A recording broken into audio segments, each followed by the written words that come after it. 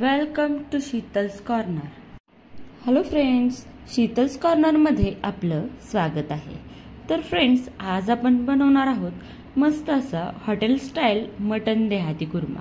तर चला पटकन बनवायला घेऊया. मटन देहाती कुर्मा बनवण्यासाठी प्रथम दोन मध्यम आकाराचे कांदे घ्यायचे आहेत व ते छानपैकी चिरून घ्यायचे आहेत. उभे पातळ असे चिरून घेतल्यामुळे कांदा छान फ्राय होतो. अशा प्रकारे दोन कांदे उभे पातळ चिरून घ्यायचे आहेत व तेलामध्ये एकसारखे तळून घ्यायचे आहेत. आता यामध्ये कांदा एकसारखा छान तळून घ्यायचा आहे. हा कांदा जास्त डार्क ब्राऊन होईपर्यंत तळायचा नाही. अगदी थोडा ब्राऊन झाला आहे असं वाटला की लगेच काढायचा आहे. कारण बाहेर काढल्यानंतर तो जास्त काळा होऊ शकतो.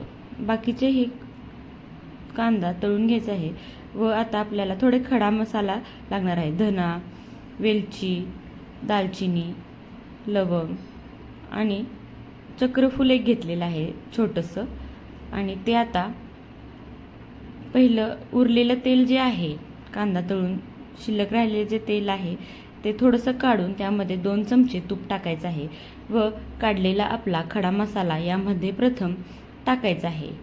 व तो छानपैकी तडतडू द्यायचा आहे व जे आपण मटण अर्धा किलो मटण घेतलेले आहे ते छानपैकी ऑफ व्हाईट कलर होईपर्यंत छान फ्राय करून घ्यायचं आहे. आता यावर थोडा वेळ झाकण ठेवायचं आहे व पाच ते दहा मिनिट याला छान उकळी येऊ द्यायची आहे. यामध्येच आपण मिठी टाकणार आहोत. आता हे छान फ्राय करून घ्यायचं आहे व यावर झाकण झाकायचं आहे.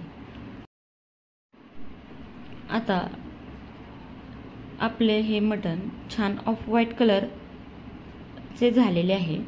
तर आता आपण यामध्ये तीन चमचे इतके आलं लसूण पेस्ट टाकणार आहोत.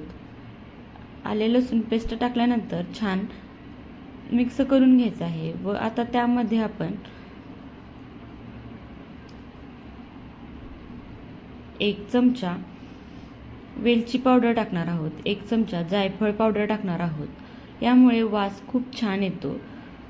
आता ही कलरसाठी आपण दोन ते तीन चमचे काश्मीरी मिरची पूड टाकणार आहोत. व चवीसाठी तिखटासाठी आपण येथे कांदा लसूण मसाला वापरणार आहोत. तो आपल्या आवडीनुसार वापरायचा आहे.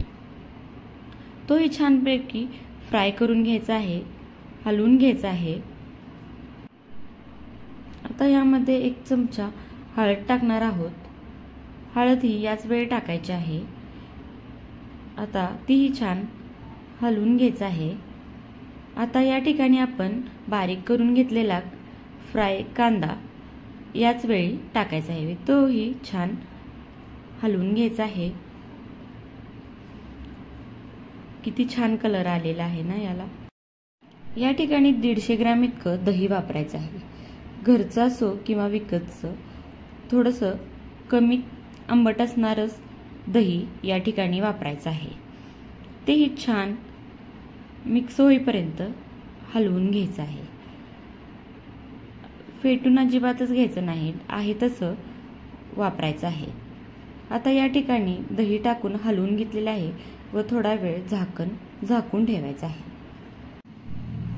आता झाकण काढून यामध्ये एक चमचा जिरापूड आणि एक चमचा धनापूड टाकायचे आहे व आपल्याला जेवढं पातळ हवं आहे तेवढं पाणी ॲड करायचं आहे. इथं एक वाटी पाणी मी इथे वापरलेले आहे. तुम्ही कमी वापरणार असाल तरीही चालेल. आता या ठिकाणी थोडंसं अर्धा चमचा चाट मसाला वापरलेला आहे. चाट मसाल्यामुळे अगदीच छान चटपटीत होते. आता ती छान उकळी येऊ द्यायची आहे व एक हिरवी मिरची यामध्ये चिरून टाकायची आहे व वासासाठी छान कोथिंबीरवरून टाकायची आहे. आता ही कढईतील पूर्ण बॅटर मी कुकरमध्ये टाकणार आहे. ही रेसिपी कुकरमध्येच पूर्णतः केली तरी चालेल. इथे व्हिडिओ छान येण्यासाठी कढईमध्ये मी केलेली आहे. आता प्रथम जी एक शिट्टी होणार आहे ती मोठ्या गॅसवर करायची आहे व बारीक गॅस करून दहा ते पंधरा मिनटं तो तसेच शिजवून घ्यायचा आहे.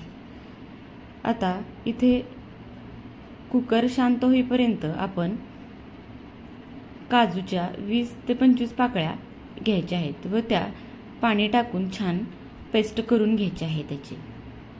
मिक्सरच्या भांड्यामध्ये आहे तसेच काजूच्या पाकळ्या टाकून छान बारीक करून पेस्ट करायची आहे. यामध्ये जर आपल्याला आवडत असेल किंवा घरात उपलब्ध असेल तर केशर पाकळे तरी टाकून यामध्ये बारीक केले तरी छान लागते. आता पहा आपला कुकर शांत झालेला आहे आणि मटणही छान शिजलेले आहे.